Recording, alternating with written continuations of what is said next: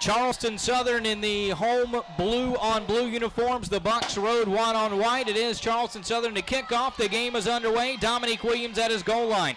To the 15, to 20. He's got a lane 25 30. Out to the 40 yard line. Knocked out of bounds by the kicker. Side is Rollins and Powell. Second and 15, they'll hand off. Stinson breaks one tackle, now cuts back to the 40, shoots out to the 45. He's going to pick up close to 10 yards. So no running backs. Austin Herrick, three receivers to the wide side, a tight end. They'll go five deep, they'll throw, and that's actually Fallon Lee, the tailback, up across the 20 to the 21 before he was hit and brought down by a talented safety going quickly. Straight drop back for Copeland. Busted assignment. Wide open down the sideline in trouble. Hammonds to the 40, to the 35, and tackled to the 33. And here's where the speed of the game kind of got to the Bucs. It, Kyle Copeland, nice drive put together for Charleston Southern. Hammonds coming straight in. Was that Khalil Mitchell, 28 from South Pittsburg? It is. What a play by Khalil Mitchell That's on a blitz, perfectly timed from Jacksonville, South Carolina. Herrick on a third and long. He's going to have to try to hang on to the football. Spins out of a play. Again, showing his athleticism. He's going to toss it down the field to Chad Pritchard. Did he get a foot down at the 47 yard line? He did. He got what it. What a catch from the Elizabethton product at the 47. Austin Herrick Gets away from a tackle and completes a 28 yard strike. So Watson with a chance. He's already got a uh, three pinned inside the 20, and he bobbled the snap, and it's going to be a turnover on downs. Second down and 10. We'll check in with Jessica Larkin in just a second. And he'll go to Hammonds on the triple option. He'll make the pitch. Nobody to the outside. A lot of trouble going down the sideline is the third tailback, Mike Holloway from Atlanta, Georgia. Holloway just had the big gain. Corn comes in motion, the wide receiver from the right to the left. Now two wideouts to the left. They'll go option again. They'll keep again. They'll pitch again. Hammonds this time end zone. Sudden they're running to the boundary side.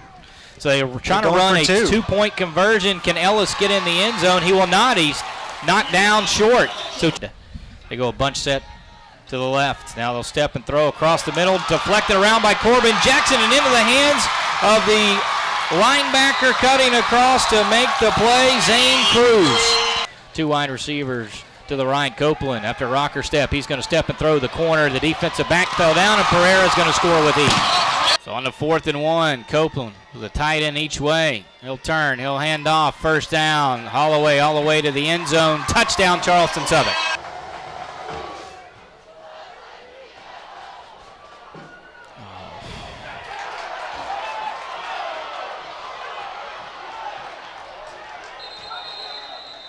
Two tights in the game. Runner in motion will get the handoff and he'll easily walk it into the end zone near side for a touchdown. It's Keelan Fraze, the professor, ladies and gentlemen. That's why I enjoy working with Matt. There's a handoff on a jet sweep coming this side.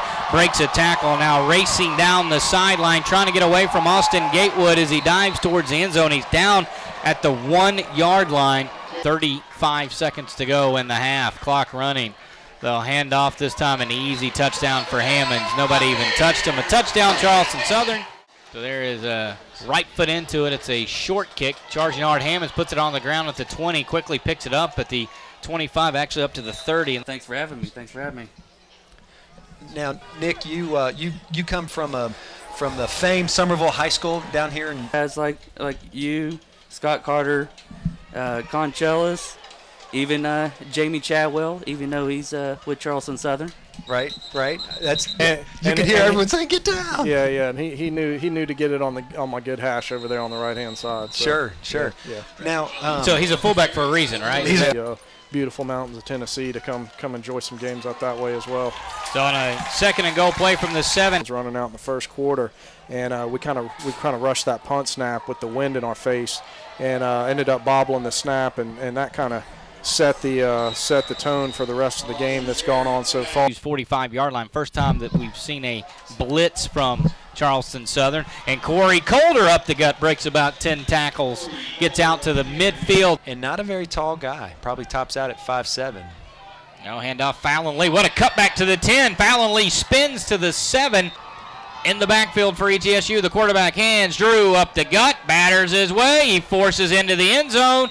It is a touchdown for ETSU, and the flags come flying afterwards, but a touchdown for Tony Drew, and the Bucs are on the board. And he looks like he's got uh, some momentum on his side.